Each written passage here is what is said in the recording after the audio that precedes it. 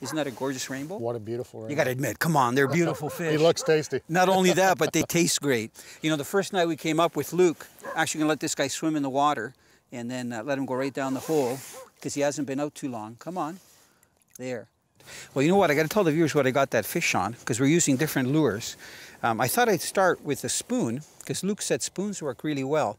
Now I know you have like an Indian recipe. You told me that you put shrimp on there. A little bit works of, well. A little bit of shrimp, you know, always works well. I mean, everybody loves shrimp, right? So what I've got here, this is a little Luhr Jensen spoon. It's called a Krocodile. You can see it says that right on the inside of the spoon. The spoon is a little thicker.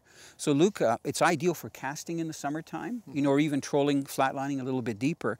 But I find in the wintertime, they also work well. And this one is a really neat, I mean, it looks like a minnow. You can Right. see it's got that black stripe with silver. And this one has a special hook on there. This is called a sure set hook. So one of the hooks is a little bit longer in case a fish strikes short, you know, when you feel a tap, Right. especially when you're casting. Well, what I've done on there to close the deal, this is um, a couple of those maggots from Trigger-X. And I just find, number one, the color, you know, uh, rainbows like yellow or chartreuse. And number two, there's a scent that comes off there. Right. But that rainbow didn't care about this hook. It Oh, had all three in its He mouth. struck hard. Okay, you know what? I'm going to warm my hands up. You'll probably find a fish. Oh, you're out in the outdoors more than I am.